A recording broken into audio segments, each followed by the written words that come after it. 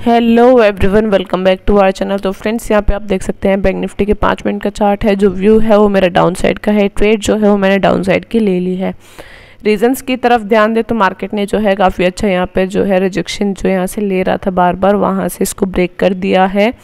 Support ले रहा था, काफ़ी अच्छे सपोर्ट लेवल को इसने ब्रेक किया है। तीन लोट में हमने यहाँ पे हमारी ट्रेड ली है। सेवेंटी फाइव चल हैं। और यहाँ पे आप देखें तो लगभग जो है हम 200-300 के करीब का ही जो है अभी हमें लॉस देखने को मिल रहा है। कुछ खास हमें यहाँ पे नहीं देखने को मिला है। जो हमारा स्टॉप लॉस है वो छोटा ही है ज़्यादा जो है बड़ा मैंने स्टॉप लॉस नहीं रखा है।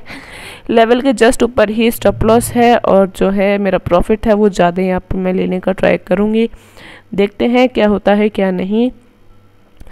तो यहाँ पे जो है, हम यहाँ पे फिबू लगा के देखें कि मार्केट कौन से लेवल से रिजेक्शन लेता है। तो आप यहाँ पे देख सकते हैं 0.5 का एक अच्छा लेवल है यहाँ पे, जहाँ से मार्केट जो है, यहाँ से रिजेक्शन लेके नीचे जा सकता है। तो और भी अच्छी जो है, हमारे पास कन्फर्मेशन हो जाएँगी। प्लस अगर आप ध्यान दें तो कल जो है मार्केट ने अपना लो जो लगाया था, वहाँ से भी रिजेक्शन ले रहा है। तो प्राइज एक्शन बेस के ऊपर भी जो है हमारे पास यहाँ पे ये ट्रेड बन रही है। प्रॉफिट आप देख सकते हैं, लगभग हज़ार का हमारे यहाँ पे प्रॉफिट हो चुका है। काफ़ी अच्छा तो नहीं हाँ बट हो चुका है प्रॉफिट देखते हैं क्या होता है, क्या नहीं। स्टॉप लॉस ट्रेलिंग का अगर मौका मिला तो स्टॉप लॉस ट्रेल भी मैं जो है टाइम टू टाइम करती रहूँगी। जो कैंडल है, वो जो है मोमेंटम काफ़ी अच्छा इसमें देखने को मिल रहा है। मतलब जो डाउनफॉल आ रही है, वो लगातार की आ रही है। तो काफ़ी काफ़ी जो है अच्छी पॉसिबिलिटी है कि मार्केट जो है वो रेगुलर डाउनफॉल दिखाए और क्या होता है, क्या नहीं देखते हैं, क्या चलता है मार्केट में।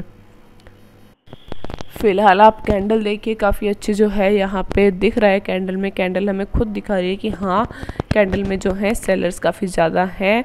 सेलर्स की पावर काफ़ी ज़्यादा है। तो यहाँ पे आप तीन मिनट के चार्ट में देखें तो जो जो डब्ल्यू पैटर्न है वो मुझे बनता हुआ दिख रहा है यहाँ पे।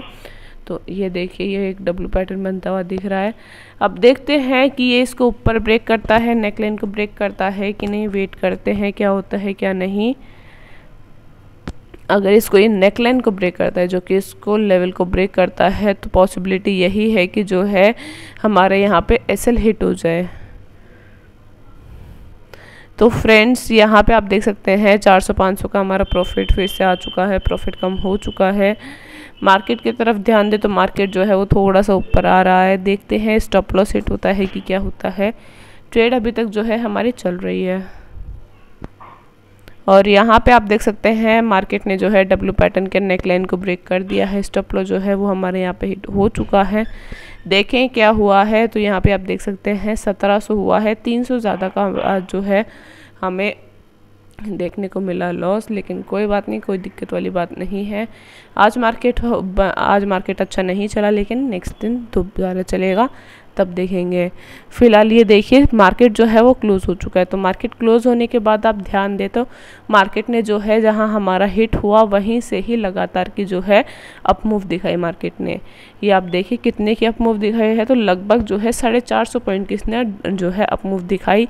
लेकिन क्योंकि मेरा व्यू अब यहाँ पे जो चेंज हो गया था और उसके बाद मैंने कोई ट्रेन नहीं ली, मेरे को काम था, इसलिए चैनल पे नए हैं तो सब्सक्राइब करना मत भूलना। Thank you